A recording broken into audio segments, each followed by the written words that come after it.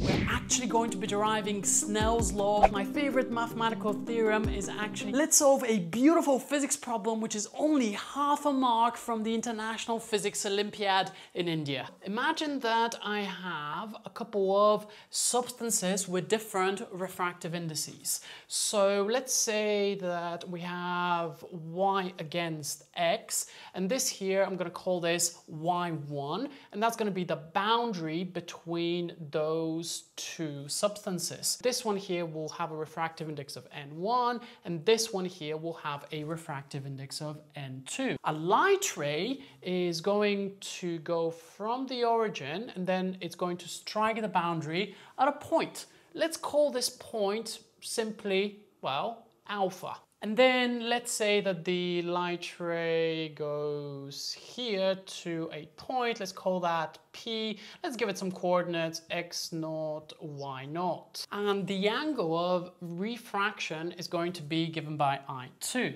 The question is, what actually determines those angles? Can we derive a relationship between the angles I1 and I2? Hint, we're actually going to be deriving Snell's law from Fermat's principle of least time. This is so exciting. It's really useful to start physics Olympiad problems simply by writing some fundamentals. So we know that the refractive index is defined as the speed of light in a vacuum divided by the speed of light in that particular substance. So for N1, I'm going to say that the light ray has a speed V1 going through here. I'm also just going to call this distance D1. I'm also going to call this distance D2. The same is going to be true for the second substance, which is going to be C divided by V2. What about the total time that the light ray is going to spend in there? Well, let's call this t. Well, that's just going to be equal to t1, the time that it spends in medium 1, plus t2, which is going to be the time that it spends in medium 2. Now, as we remember from school physics, time is distance over speed. Wait, it's distance over speed, isn't it? Yeah, so we can actually write this as d1 divided by v1 plus d2 divide that by v2. Okay, now we can actually plug in an expression for V1 in terms of the refractive index. And what we're going to get is D1 divided by V1 rearranged is just going to be equal to C over N1 and V2 rearranged is just going to be C over N2. Okay, those can go in here. C and then a factor of N1 plus D2, then divide that by C and then multiply by N2. And now we can use one of my favorite mathematical theorems, the Pythagoras theorem. Side note, but do you have a favorite mathematical theorem? I'm very curious, do let me know in the comments below. Even more of a side note, but my favorite mathematical theorem is actually Gauss's divergence theorem.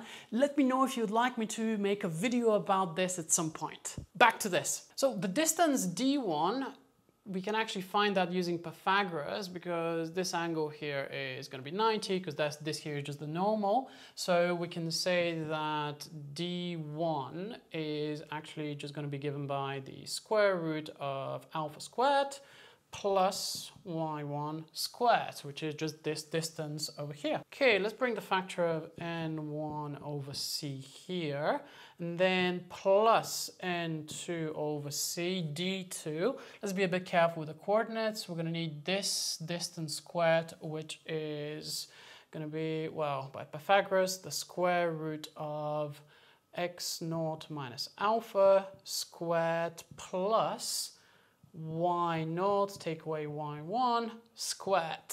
And this here is the time. Now, according to this very deep principle, the light will take a path such as to minimize the time taken between two points. So out of all the different paths that the light could possibly take, which are going to correspond to a different intersection coordinate, alpha, the light is going to pick the one which minimizes the time. So if you think about it, this total time here is actually a function of alpha. Now, as I was speaking, I noticed a small error. Let's fix that. It chooses the path that minimizes time. We need to differentiate.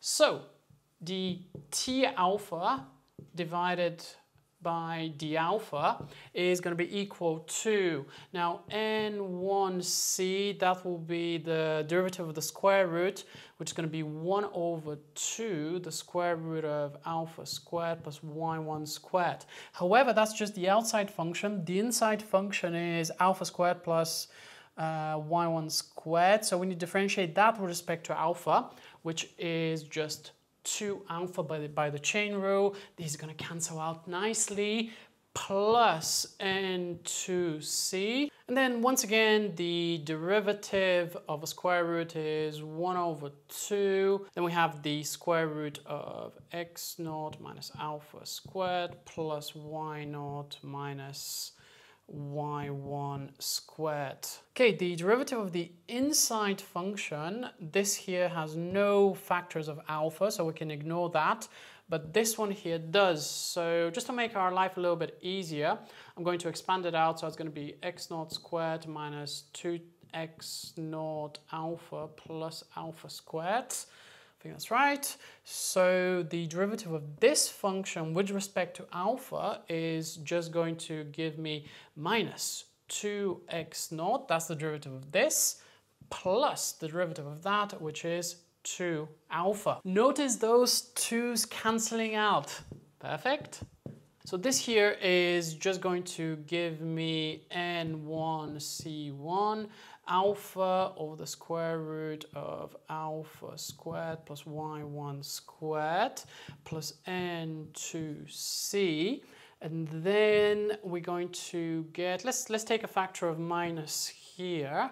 And inside here, we're going to get x naught minus alpha divided by the square root of x naught minus alpha squared plus y naught minus y1 squared. And let's set this derivative to be equal to zero because now we can do some more cancelling out. Oh, this one shouldn't be here because we can cancel out the speed of light from both sides. And notice something remarkable. Alpha over this distance is actually alpha over that, which is just opposite over the hypotenuse. So this is really exciting. So I'm going to write this all the way up here. N1 multiplied by opposite over hypotenuse, well, that's just the sine of I1 plus, wait, minus N2, and then this x naught minus alpha, well, that's just this distance, which is essentially that, divided by the square root of that over that, well, that's just the this hypotenuse d2. So once again, this here is actually just the sine of i2. And we can just rearrange this and say that n1 sine of i1 has to be equal to n2 sine of i2. And now you know where Snell's law actually comes from. This is such a fun derivation, but this is not the complete problem. I have actually filmed a previous part which will really help you understand potential forces and applying these rules for points and this is precisely why you should have a look at this video right over here.